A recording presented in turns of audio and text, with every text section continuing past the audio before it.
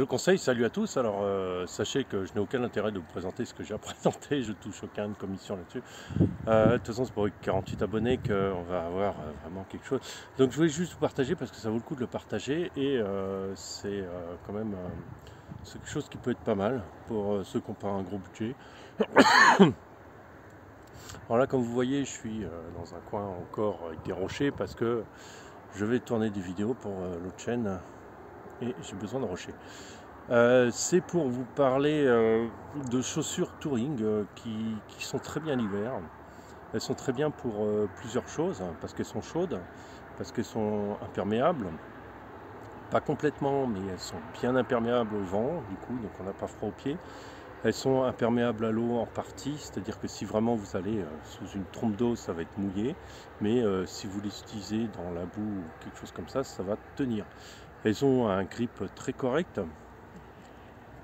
très correct euh, sur, euh, par rapport à la boue, à des terrains un peu, euh, voilà, terrain de forêt, puisqu'on est sur le VTT.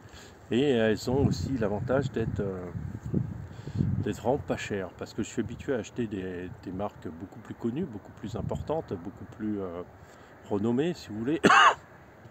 Et on s'aperçoit que à 100 euros la paire de chaussures, on n'a pas forcément la qualité qu'on attend.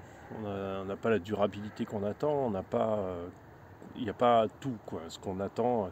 Il y a une vingtaine d'années, c'était valable. Maintenant, euh, ils, spéculent trop. Enfin, je trouve qu'ils spéculent trop vraiment et ils jouent vraiment de leur, plus de leur autorité que, que réellement de leur qualité et de leur truc. Donc, euh, je, je me suis rabattu sur des chaussures pas chères de chez Decathlon. Donc, je vous mettrai un lien en dessous, de la vidéo. Hein. D'accord, vous pouvez cliquer, vous pouvez aller voir. Je me souviens plus du modèle parce que ça fait 4 mois que j'utilise. Je vais vous montrer ça tout de suite. Alors ce sont ces modèles-là, ils sont très bien parce qu'ils ont une... Euh, comment on appelle ça? Donc ils sont imperméables, ils ont un lassage qui tient bien.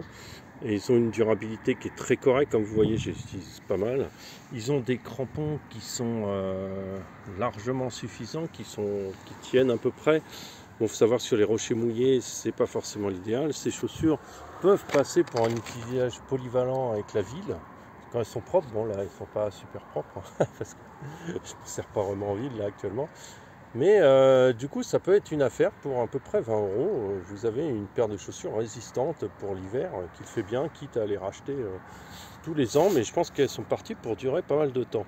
Le, son seul défaut, ça va être l'amorti qui n'est pas de très grande qualité. Donc on a tendance à avoir un peu le pied rebondi dans des passages un peu techniques.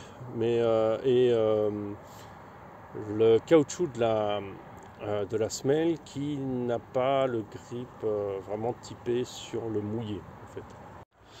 Voilà, hormis ces quelques défauts, à 20 euros on ne peut pas s'attendre à quelque chose euh, d'aussi puissant et d'aussi fort que les grandes marques qui vendent leurs chaussures 200 euros.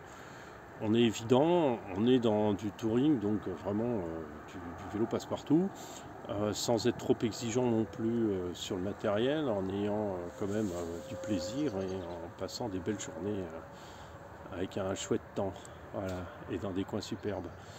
Écoutez, sur ce, je vous souhaite une bonne journée. N'oubliez pas de liker euh, si vous avez envie. Si vous n'avez pas envie, vous mettez pas like. Et euh, vous pouvez aussi euh, faire comment vous abonner si vous avez envie.